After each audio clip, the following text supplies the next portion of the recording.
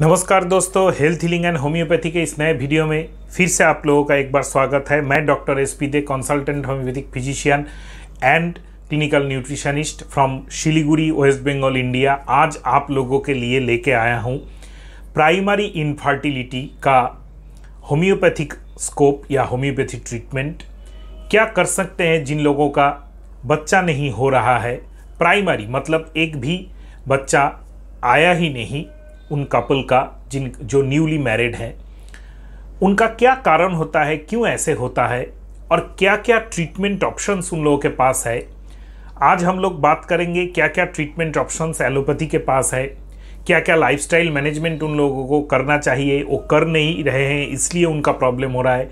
Homeopathy में हम लोग उनको क्यों, कितना ट्रीट कर सकते हैं और कैसे ट्रीट कर सकते, क्या रिजल्ट्स आता है, इन सभी के बारे में। तो ये वीडियो थोड़ा तो डिटेल्स में होगा और आप लोगों को ये वीडियो बहुत ही अच्छा लगेगा। अगर आप खुद ऐसे सफरिंग कर रहे हैं कि आपका न्यूली मैरिड हुआ, एक भी टाइम आपका बच्चा नहीं आया।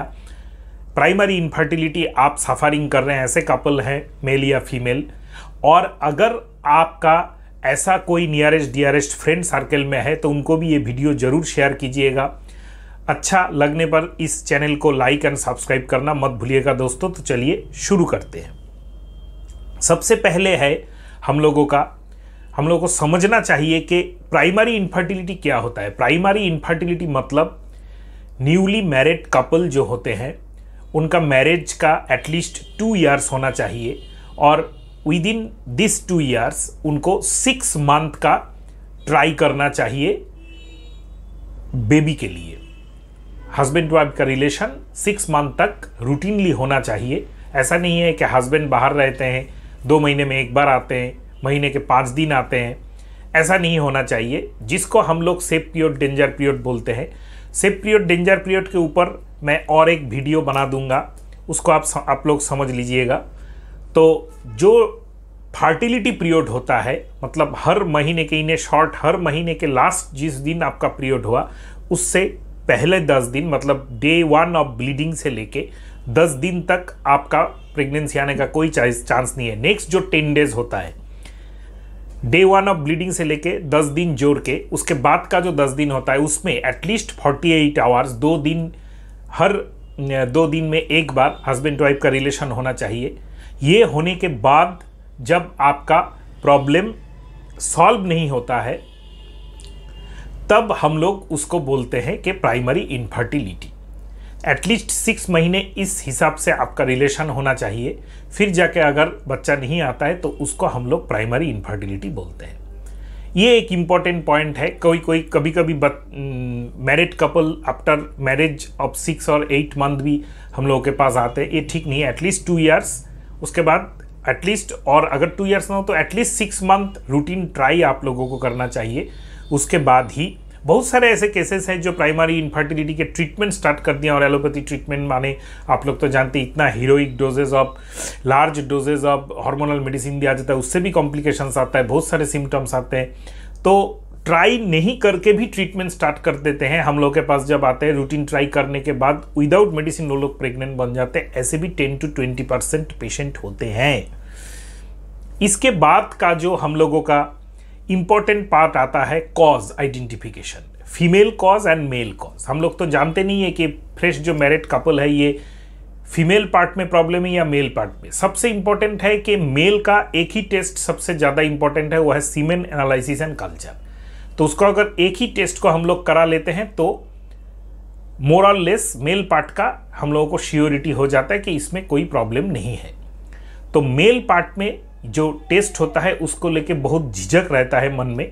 बहुत सारे पुरुष ऐसे मानते हैं कि अगर मैं सीमेन एनालिसिस करूँ, कुछ प्रॉब्लम निकल जाए तो मेरा कुछ प्रॉब्लम बड़ा निकल जाएगा, मेरा बदनाम हो जाएगा।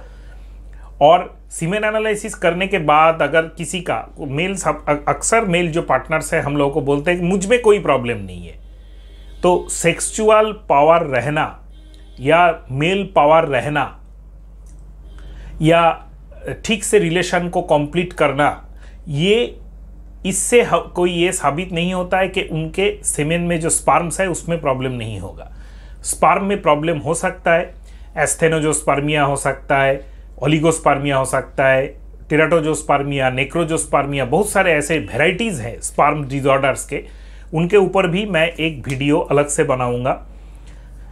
तो ये हो सकता है, ये इसके लिए मेल टेस्ट सबसे पहले इंपॉर्टेंट है बिफोर फीमेल अगर वो ठीक है तो कोई प्रॉब्लम नहीं है। उसके ऊपर मैं एक अलग वीडियो दूँगा sperm count sperm disorder sperm motility and everything about specimen analysis इसके बाद हम लोगों का जो इम्पोर्टेंट सबसे आता है मेल ठीक है तो फीमेल में हम लोग सबसे पहले जो टेस्ट कराते हैं, उसको हम लोग बोलते हैं फीमेल इनफर्टिलिटी प्रोफ़ाइल उसमें हम लोग देखते हैं अल्ट्रासोनोग्राफी ऑफ़ होल एब्डोमेन खास करके लोअर एब्डोमेन का जो रिप्रोडक्टिव पार्ट है, ओभारी, यूट्रस एंड एट्सेट्रा का हम लोग अल्ट्रासोनोग्राफी निकालते हैं। उसके बाद हम लोग हार्मोनल स्टडी कराते हैं। हर महीने के जो मेंस्ट्रुएशन होता है, उसके सेकेंड से लेके सिक्स डे के अंदर सुबह खाली पेट में ब्लड दे के कुछ टेस्ट कराना चाह ज़रूरी होता है। उसमें आता है follicle stimulating hormone luteinising hormone antimullerian hormone prolactin and thyroid stimulating hormone ये सब हम लोग करा के देखते हैं कि किसमें क्या प्रॉब्लम है। अक्सर देखा गया है, ये सब टेस्ट बहुत सारे डॉक्टर्स एलोपैथी भी होते हैं होम्योपैथी भी होते हैं, किसी भी दिन करा लेते हैं, लेकिन इन इन सब टेस्टों का लेवल जो है ऑप्टिमम जो है, वो हर महीने के मेंस्ट्रुएशन के फीमेल के मेंस्ट्रुएशन के सेकेंड से लेकर सिक्स डे के बिटवीन ही होता है। यही प्रामाण्य पुस्तकों में लिखा गया है गायनेकोलॉजी का, और यही कराना चाहिए प्रोटोकॉल मानना चाहिए। वरना कॉन्फ्यूजन क्रिएट होता है। बहुत सारे इंफर्टिलिटी केसेस में मैं पहले ही बोल चाहूँ मेडिसिन लगता भी नहीं है, ऐसा देखा गया है। इसके बाद आते हैं फीमेल जो कॉजेज है, सबसे इंपॉर्टेंट आजकल जो बहुत सारे कॉजेज आप लोगों को इंटरनेट में मिल जाएगा गूगल करने से बहुत सारे कॉजेज टिपिकल टिपिकल टर्म्स बहुत सारे कॉजेज मिल सकते हैं, लेकिन इंडिया में जो हम लोग प्रैक्टिस करते हैं, सबसे इम्पोर्टेंट सबसे बेसिक जो कॉजेज आते हैं, उसी को मैंने सजाया है। सबसे नंबर वन कॉज आता है polycystic ovarian syndrome forty percent of Indian primary infertility are caused by polycystic ovarian syndrome इसके बाद आता है, इस इस के ऊपर पॉलिसिस्टिक ओवरियन सिंड्रोम के ऊपर मेरे चैनल पे एक वीडियो ऑलरेडी है। और एक वीडियो मैं बनाने जा, का कोशिश करूँगा। देख लीजिएगा कि क्या, कैसे होम्योपैथी में पॉलिसिस्टिक ओवरियन सिंड्रोम ठीक होता है। इसके बाद आता है ovarian reserve and ovulation failure syndrome. ये शायद आप लोगों ने न्यूज़ सुना है। देखिए, पॉलिसिस्टिक ओवरी हो चाहे ना हो, ऐसे बहुत सारे केसेस होते हैं जिनमें सब कुछ नॉर्मल होते हुए भी ओवल्यूशन ठीक नहीं होता है। उसको हम लोग बोलते हैं ओवरियन रिज़र्व। और पॉलिसिस्टिक ओवरी होते हुए भी एक ऐसा स्टेज आता है जब ओव्यूल्यूशन ठीक नहीं होता है, उसको भी हम लोग बोलते हैं ओव्यूल्यूशन रिज़र्व और लो ए सब कुछ ठीक है पॉलिसिस्टिक ओवरी भी नहीं है, लेकिन ठीक से प्रेगनेंसी नहीं आ रहा है प्रेगनेंसी आ ही नहीं रहा है, उसको भी लो एंटीमुलेरियन हार्मोन इसके ऊपर मेरे चैनल पे ऑलरेडी एक वीडियो है, बहुत ही फ़ेमस वीडियो है एंटीमुलेरियन हार्मोन के ऊपर. ज़रूर देखिएगा, अगर आप सफरिंग कर रहे हैं या आपका कोई नियरेस्ट डियरेस्ट सफरिंग कर रहा है तो एंटी मुलेरियन हार्मोन अगर लो रहे, तब भी ओवरियन रिज़र्व या ओवल्यूशन फेल्यूर क्रिएट होता है। ये एक इंपॉर्टेंट पार्ट है, इसको हम लोग इग्नोर करते हैं, खास करके एलोपैथी डॉक्टर्स लोग तो ज़रूर इग्नोर करते हैं, क्योंकि सब कुछ ठीक रहते हुए भी या पॉलिसिस्टिक ओवरी रहते हुए, नहीं रहते हुए भी ओव्यूल्यूशन अगर ठीक से नहीं हो टाइमली नहीं हो, पाँच छः दिन आगे पीछे हो जाए या नहीं ही हो तो हम लोग इसको एक प्रॉब्लम हम लोगों का क्रिएट होता है जिसमें प्रेगनेंसी नहीं आता है। इसको कैसे ठीक किया जाए, पकड़, पकड़ा कैसे जाए, इसके लिए और एक स्टडी होता है ओवरियन फॉलिकुलर स्टडी हम लोग उसको बोलते हैं। जिनमें जिसमें क्या होता है, किसी भी फीमेल के मेंस्ट्रुएशन के सेकेंड डे से लेके पाँच दिन सक्सेसिवली अल्ट्रासोनोग्राफी होता है और डे टू में अल्ट्रासोनोग्राफी जो करता है, खास करके फीमेल अगर रेडियोलॉजिस्ट मिल जाए किसी अल्ट्रासोनोग्राफी सेंटर में तो बहुत ही अच्छा है, या मेल भी कर सकता है। ये पार भेजाइनाल होता है। भेजाइनल में एक प्रोप डाल के देखा जाता है और ऊपर से भी देखा जाता है कि सेकेंड डे आपका ओवारियन, सॉरी मैचुरेशन कितना है, उस हिसाब से आपको दो दिन या तीन दिन के बाद बुलाया जाएगा, फिर दो दिन, तीन दिन के बाद, फिर दो दिन, तीन दिन के बाद, ऐसे करके अनटिल आपका मैच्योर्ड जो ग्राफियन फॉलिकल होता है हर महीने जो ओभाम निकालेगा, उसका राप्चर होने तक नोट डाउन किया जाता है कि ये राप्चर हो गया। बहुत ही इजी नॉन पेनफुल और नॉन साइड इफ़ेक्ट वाला एक टेस्ट होता है। अगर कोई ऐसा पेशेंट है जो जानना चाहता है कि मेरा ओव्यूल्यूशन ठीक से होना चाहिए कि नहीं चाहिए तो उसको यही टेस्ट कराना है। इसको बोलते हैं हम लोग ओवरियन फॉलिक्यूलर स्टडी, ये एक अल्ट्रासोनोग्राफी होता है, एब्डोमिन के ऊपर से भी होता है, पारभाजनल प्रोब डाल के भी होता है। इसीलिए अगर किसी सेंटर में आपको फीमेल गायनेकोलॉजिस्ट मिल जाए तो अच्छा है। कोई भी डॉक्टर इसको एडवाइस कर सकते हैं और ये आप करा के इस, ये आपको मालूम चल जाएगा कि मेरा ओव्यूल्यूशन ठीक से हो रहा है कि नहीं। लेकिन इसमें भी एक किंतु रह जाता है कि ओव्यूल्यूशन तो हो रहा है, ओभम का हेल्थ ठीक है कि नहीं? जैसे स्पार्म एनालिसिस करके लड़कों का हम लोग ये देख सकते हैं कि उनका स्पार्म का हेल्थ कैसा है। ऐसे ही ओभम अगर आप निकाल भी दे, हम लोग ओवारियन फॉलिकुलर स्टडी में देख भी ले कि हाँ रैप्चर हो रहा है ग्राफियन फॉलिकल और ओभाम निकल रहा है तो ओभाम का हेल्थ चेकअप करने का ओभाम का जेनेटिक स्टडी मॉर्फोलॉजिकल स्टडी करने का स्टिल नाउ आज तक उतना ज़्यादा एडवांस कोई टेस्ट नहीं है, एक प्रॉब्लम है।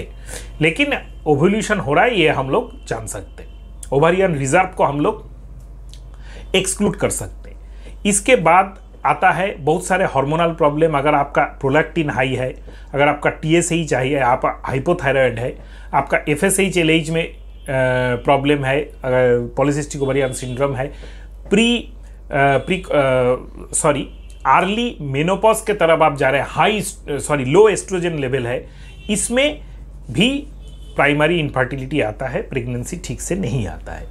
इसके बाद का और एक कॉज है uterine fibroid multiple uterine fibroid बहुत कम उम्र से बहुत सारे लड़कियों को आते हैं। उनमें भी प्राइमरी इनफर्टिलिटी खास करके सेकेंडरी इनफर्टिलिटी जिसमें एक बार प्रेगनेंसी आ गया और मिसकैरेज हो गया।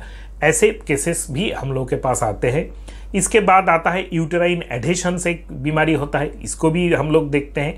और यूटेराइन एडेशन और स्कारिंग ये सब जो बीमारी है, इसके साथ और एक इंपॉर्टेंट बीमारी है severe endometriosis including adenomyosis endometriosis के बहुत सारे पेशेंट्स हम लोगों के पास आते हैं और एंडोमेट्रियोसिस को होम्योपैथी बहुत अच्छा ट्रीट कर सकता है।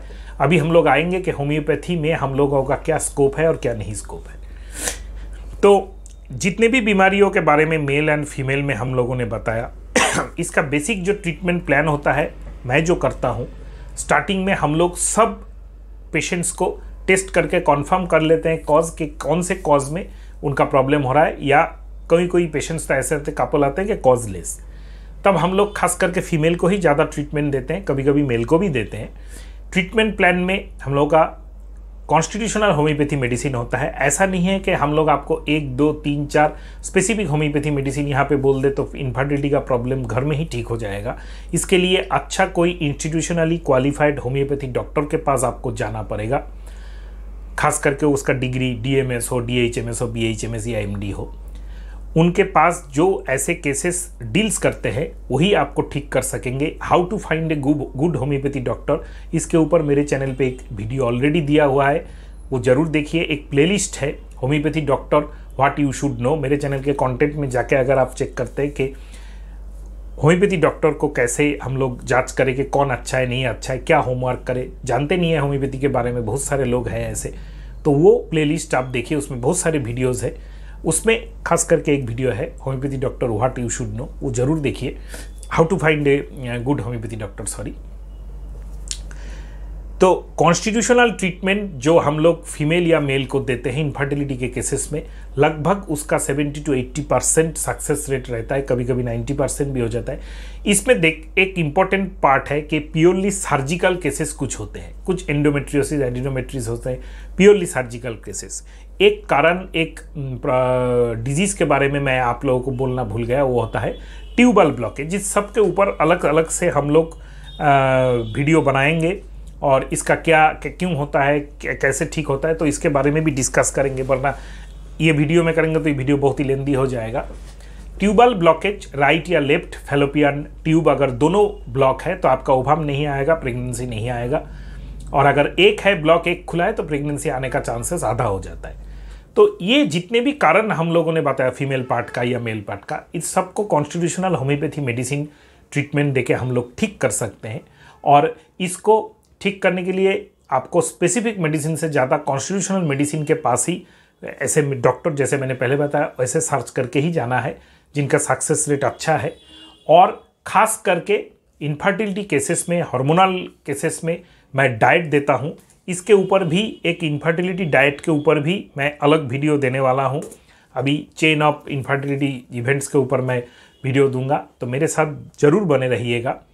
दो मेडिसिन मैं आप लोगों को, देखिए, जो ऐसे केसेस होते हैं, इनमें छः महीने से एक साल अच्छा होम्योपैथी ट्रीटमेंट लेने से आपका प्रॉब्लम ठीक हो जाएगा। चाहे आपका ट्यूबल ब्लॉकेज हो, चाहे आपका पॉलिसिस्टिक ओवारी हो चाहे आपका ओवल्यूशन रिज़र्व हो, चाहे एंडोमेट्रियसिस हो, चाहे कुछ भी हो प्रॉब्लम अगर वो प्योरली सर्जिकल एक्सक्लूसिवली सर्जिकल नहीं हो मेडिसिनली मैनेजमेंट मैनेजेबल हो तो आपको छः महीने से एक साल ट्रीटमेंट लेने से आपको रिज़ल्ट आ जाएगा।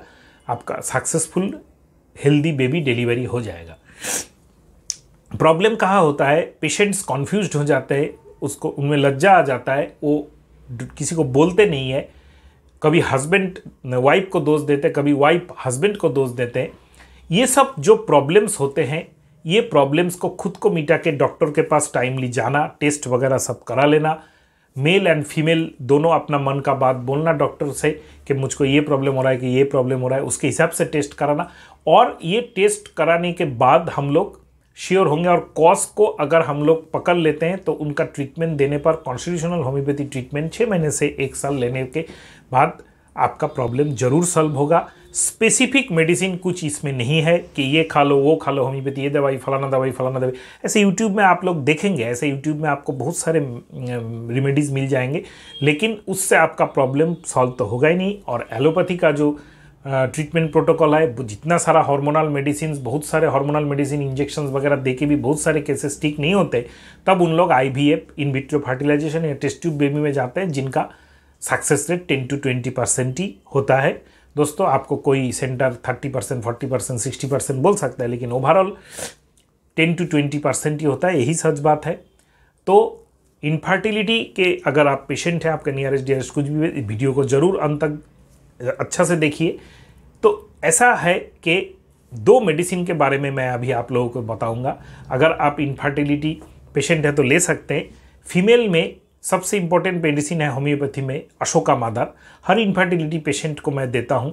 ये यूटेरास जो है यूटेराइस यूटेराइन जो कैविटीज़ वगैरह है, उसको साफ़ रखता है और ओवल्यूशन को स्टिमुलेट करता है और मेल में है अश्वगंधा मादार। ये दो मेडिसिन मेल में, अश्वगंधा मादार फीमेल में, अशोका मादार। ये दो मेडिसिन मेल और फीमेल ले सकते हैं, दस बूंद करके दिन में तीन बार, दो चम्मच गर्म गुनगुने पानी में खाने के बाद। मेल अश्वगंधा फीमेल अशोका मादर ये लेते रहिए, इसके साथ अच्छा होम्योपैथी डॉक्टर दिखाइए, मेरे साथ भी कांटेक्ट कर सकते मेरा on eight six one seven zero three two nine three five वाला जो नंबर है, उसमें कॉल मत कीजिएगा। दोस्तों ऑनलाइन ट्रीटमेंट के लिए अगर आप कंसल्ट करना चाहते हैं तो व्हाट्सअप कीजिएगा और बहुत ही अच्छा ट्रीटमेंट हम लोगों का मिलता है। तो ज़रूर इस वीडियो को अगर अच्छा लगा है, काम का लगा है, इसको शेयर करना चैनल को लाइक एंड सब्सक्राइब करके बेल आइकॉन को प्रेस करना मत भूलिएगा दोस्तों। नमस्कार।